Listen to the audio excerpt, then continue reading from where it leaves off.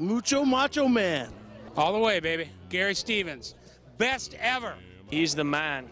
He went out on top, came back, he's on top again. You just don't see that. That's incredible.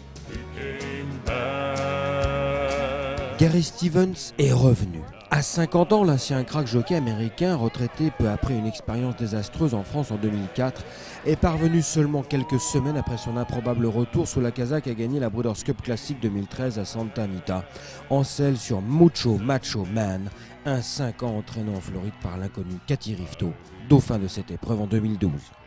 So Gary, for the French TV, what are you, how do you feel? Gary, ça fait quoi d'être de nouveau la star numéro 1 Uh, it feels great. Uh, it feels great to get Ah, ça fait un bien fou de pouvoir revenir grâce à un super cheval, Mucho Macho Man. Qu'a-t-il amené jusqu'à ses limites? Et moi, je reviens de tellement loin, alors je suis vraiment ravi. I'm very happy. And one year ago, when you decided Il y a un an, quand vous avez décidé de revenir en selle, est-ce que vous avez sincèrement imaginé remporter une Breeders' Cup ou au moins revenir dans le top 10 des jockeys? Ah, je dois vous le dire maintenant, je ne pouvais pas m'imaginer ici en train de signer tous ces autographes et encore moins remporter la Breeders' Cup classique. J'ai déjà eu une très belle carrière et là, c'est vraiment la cerise sur le gâteau.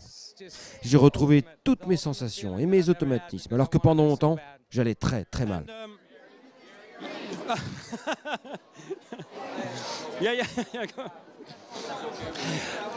Yeah, yeah, yeah. go. And wh- what would you say today about Et qu'est-ce que vous diriez aujourd'hui au public français qui vous a connu il y a 10 ans déjà? Vive la France. Thank you, Gary.